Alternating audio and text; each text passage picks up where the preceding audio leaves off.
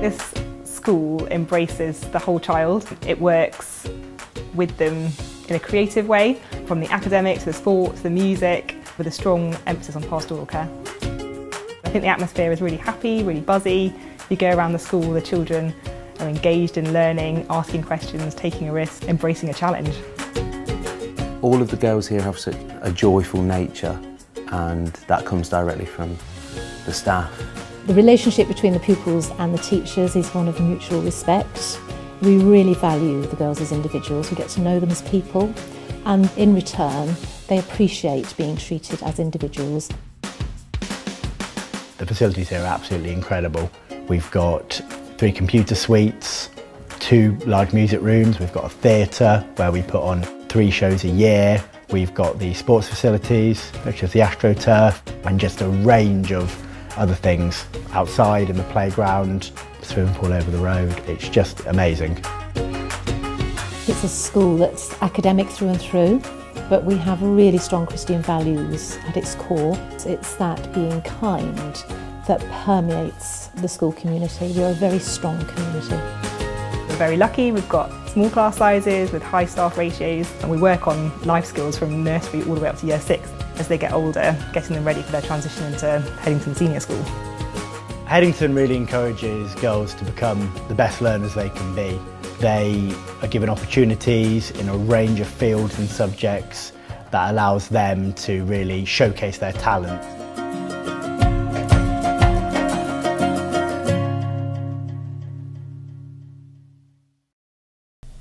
Hello, welcome to the Next in Our Event series, where a selection of our pupils will be asking Jane Crouch, the head of prep, a few questions on your behalf. I hope you enjoy.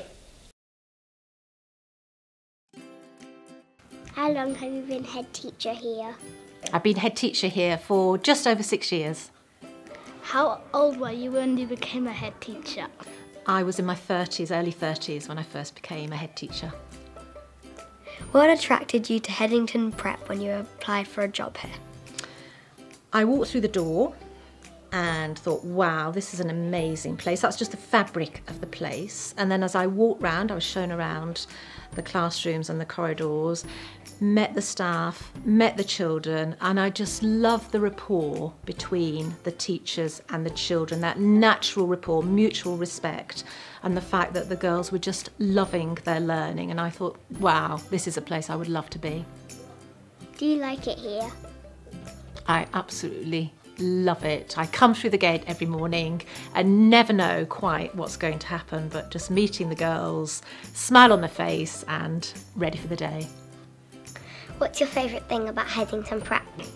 It has to be the girls. It has to be the girls. It's just their energy, their vibrancy, they're so natural, and the way they come and they'll chat very openly about their learning and just what they've been up to. Where's your favourite place to be in school? There are so many places I love being in the school. The main thing is the contact with the pupils. So the corridors, because then I see all ages. And I suppose especially the theatre, because in the theatre we have our assemblies, we're all together for those. And then it's also a place where the girls perform. And I love watching them on stage. So perhaps the theatre is my favourite place. What are the teachers like? teachers are amazing here. It's a really strong community of staff. And the other thing, not only they're amazing people, but they are really skillful within the classroom and so progressive. So they're learning. We're all learning here. It's not just the girls, it's the staff as well. And I love that about them. What are the girls like here? They're very natural. They are very warm, they're enthusiastic, and they'll have a go at anything. Well, within reason, they'll have a go at anything. They just love learning and they're great fun and really good company too. How many girls are here at Headington Prep? There are about 250 girls from nursery up to year six. How do girls get to school? Girls get to school by a whole range of methods. So they might walk, they might come by scooter. If you look outside, you'll see a range of scooters outside. They might cycle, come by car, or take one of the buses as well, one of the school buses. What is your favourite lunch here at Headington?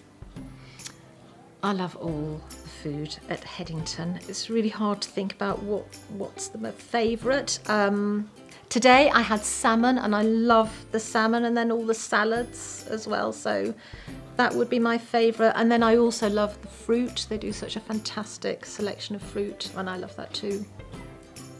Tell me something about you that other people in school don't know.